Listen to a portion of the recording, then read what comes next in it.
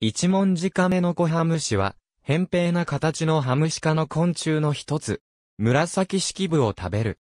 一文字カメノコハムシは、いわゆるカメノコハムシ類と言われる型のハムシ類の一つで、前胸と前肢の周辺が板状に伸びていて、半透明な円盤の真ん中にやや平らな、テントウムシ風の昆虫本体がはまり込んだような形になっている。体長は7.8から 8.5mm、全体に円形、ただし、昆虫本体の周囲に、戦術のような板状の突出部がある。頭部は、完全に全鏡に覆われて仮面にある。触覚は前に突き出る。ふ足はほとんど胴体と板状の突出の元にある。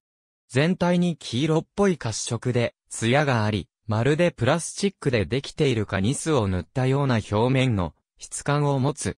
表面は透明っぽい。全肢の胴体を覆う部分は濃い褐色で、まるで胴体の存在を誇示しているかのようである。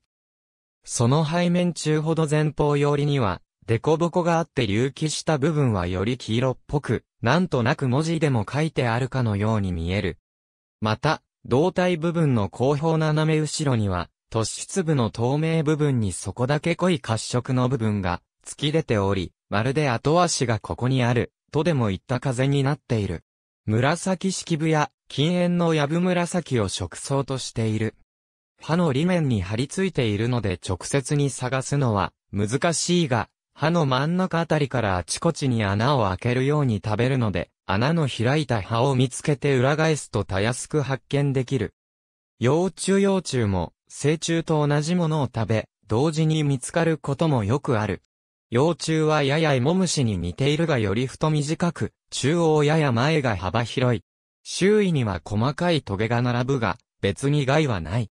面白いのは、尾の先端に脱皮角などをつけ、これを背中に向けて反るようにして、それらのゴミで幼虫の背中を覆う。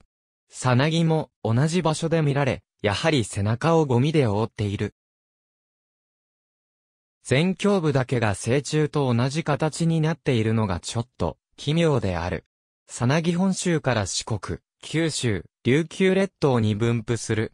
国外では、朝鮮半島、中国、台湾、インドシナ、ミャンマー、インドまで分布する。主に山間部に見られる。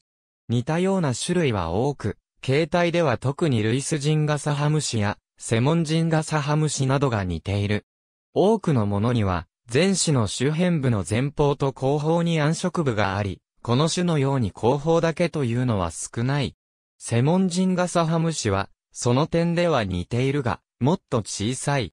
種ごとに食草が、はっきり異なるので、その方向から見分ける方が容易である。山間部の野生植物を食べるものなので、利害はない。紫式部は観賞用に栽培されることもあるが、それを食害する話は聞かない。ありがとうございます。